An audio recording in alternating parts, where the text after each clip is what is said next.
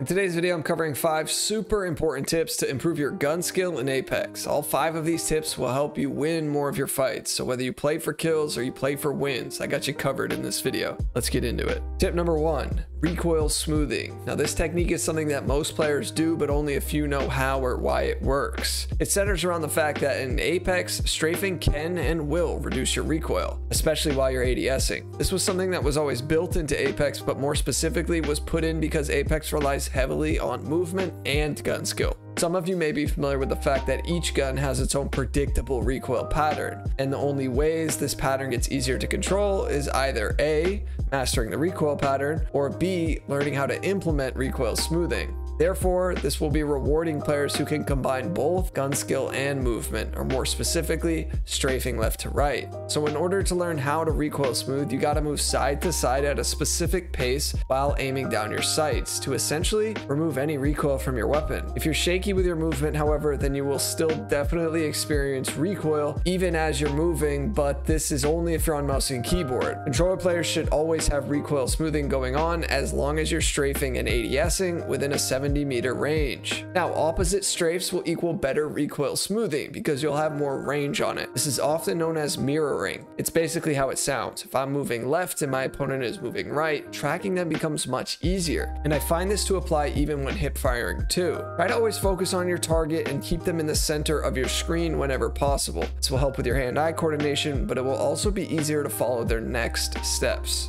Now, recoil smoothing will not apply when opponents are 70 plus meters away, as there's bullet travel speed and the movement of an opponent's strafe is just too much to track at that range. This is why I'll see a lot of pros use jitter aiming, which I won't get into here in this video, but it is an advanced mouse and keyboard technique to minimize recoil at larger distances, often without moving themselves. Tip number two, using your abilities. Now, using abilities to assist with your gunfights sounds super obvious on the surface, and sure, it kind of is, but in Apex abilities actually play a significant role in just about every fight you'll get into. Using your ability at the wrong time, or just flat out forgetting to use it, can have a detrimental effect on how the fight turns out. Now, fights aren't usually dominated solely by abilities, but they do play like a 10 to 30% role in any given fight. Abilities in Apex tend to have nuance and complexities behind them that make this game so unique. They also have their own use cases. I'll give you some broad stroke examples of how you must be thinking about incorporating these abilities so that you can find more success in your fights.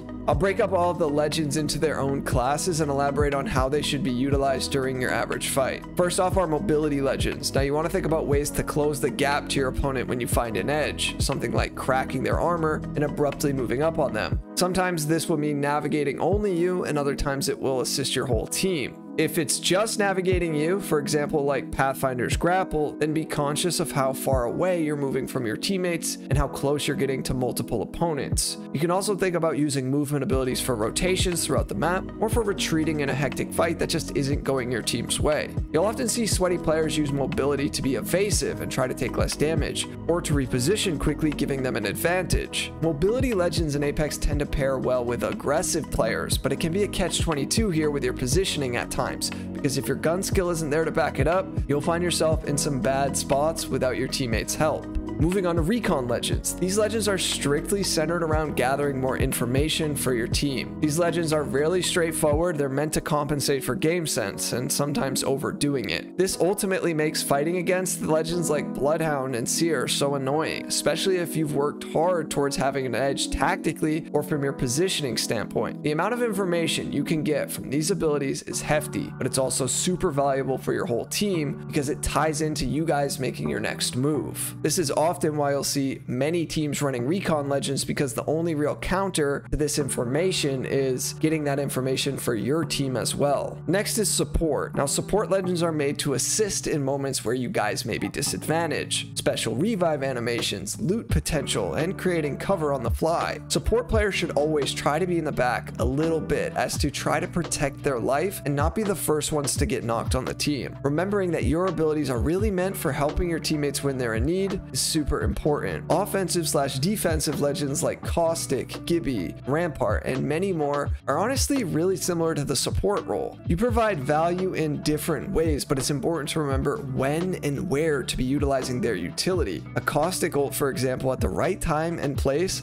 should instantly give your squad the upper hand. Now, being reserved with legends who have a longer cooldown on their abilities like Gibraltar is vital to keep in mind, but more free-flowing legends like Mirage, who has much shorter cooldowns, will allow for more utility to be output. I mean, honestly, utility is everything when it really comes down to it in Apex. Master your legend or legends that you play and really seek to place yourself in the moments your legend has the most upside. If you guys are enjoying this video and want to help further support my channel, please consider dropping a super thanks. This is YouTube's newest feature, which allows you to tip me and get your comment highlighted below. Be sure to put any questions you want answered in your super thanks. And as always, this is by no means necessary, and I appreciate any and all of your guys' support. Thank you. Tip number three, learn to abuse cover. Now, this is the best way to get an edge in any fight and do so quickly. Some may be thinking, duh, use cover. But in this tip, I'm going to elaborate on some little details that most players overlook. All of these will help with the process of mastering your surroundings, which is crucial to becoming a great player in any FPS. First is what's known as the 50-50 rule, and it's where you want to try to strive to have 50% of your screen covered with some cover. But let's take this a bit further. You can learn to pivot on angles, say you're at a wall or a box or a tree. Being flexible with your positioning here allows for you to take micro adjustments in real time to avoid taking more damage. Always try to put yourself in a pivot if you feel like an enemy has some advantage over you. Some examples of this could be if you just knocked an enemy and your shield is cracked, but there's a second enemy close to you. You want to make sure you have a pivot here where you could potentially start a battery, use your vision to see if an enemy is approaching, and if so, decide do I cancel the heal and fight this second person, or do I shift around this cover further to help get this battery off in time? Another example could be as if you're outnumbered in a specific moment. It doesn't take long for you to die if more than one person is shooting you, so if you think you could potentially be in multiple lines of sight, then really consider your surroundings to find a pivot. If I feel like I'm being outnumbered, I try to position myself so that I can have an angle on one enemy, but so that their second teammate can't have an angle on me.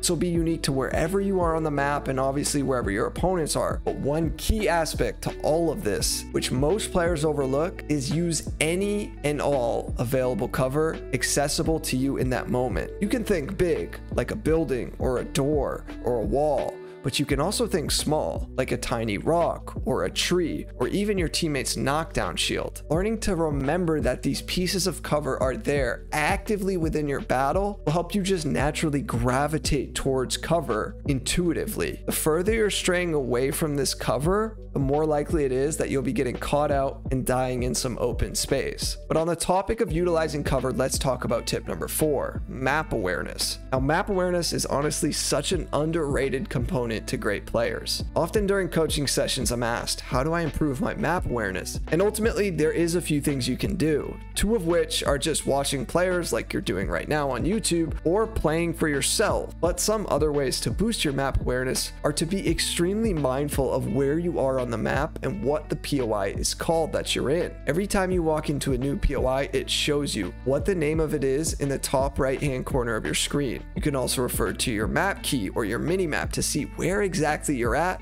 and what this place is called. Having some familiarity within the POIs that you're in will help you remember important spots that are valuable to be in within that POI. Now, once you become fairly familiar with the POIs on the map, you want to be thinking about past experiences of where you noticed that specific part of the map you were in was not favorable to you. Maybe it was a heavy choke point where your team lost a fight in, or maybe you realized that the specific area you're in has some extreme low ground and the alternate side has some high ground over you. Simple and basic features of the map should last in your memory about what's a good spot to be in and what's a bad or vulnerable spot to be in. I think you need to have a decent memory in order to increase your map awareness, but ultimately, experience will play the biggest role here. Tip number five healing. Overhealing and underhealing are a common problem for many players. Now, overhealing means you're spending too much time healing minimal amounts of HP or shield when you really should be fighting with your teammates, and underhealing is when you're not healing during the moments of downtime within each fight. I can honestly tell you,